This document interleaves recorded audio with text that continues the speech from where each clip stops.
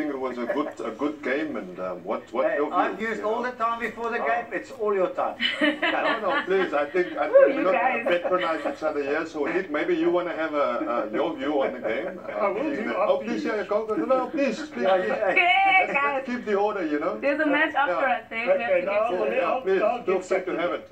So, so just yours. quickly, just quickly, I thought that uh, it was very, very tight. 24. It was not only that, um, the referee, of course, sending uh, Rory Arnold off of the field. Um, the Brumbies tried to, you know, um, send someone on, but he said, no, no, no, that man is not coming back and pulled the red card out of his pocket. I think he did manage the game very, very well.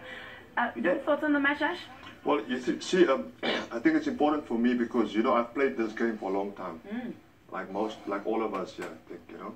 And um, as a player, I was labeled a quota player for a long time, and um, I've earned hard and worked hard to earn my own respect in this game.